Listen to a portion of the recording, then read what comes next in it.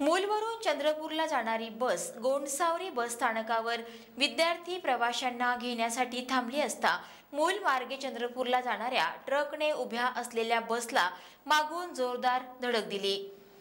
या धडकेमध्ये बसमधील काही प्रवाशांसह बस स्थानकात उभे असलेले प्रवाशी जखमी झाले. ट्रकमधील चालक सुद्धा जखमी झाला. घटनेची माहिती मिळताच मूल पोलीस घटनास्थळी पोहोचले आणि विस्कळीत झालेली वाहतूक सुरळीत केली. पुढील तपास मूल पोलीस करत आहेत.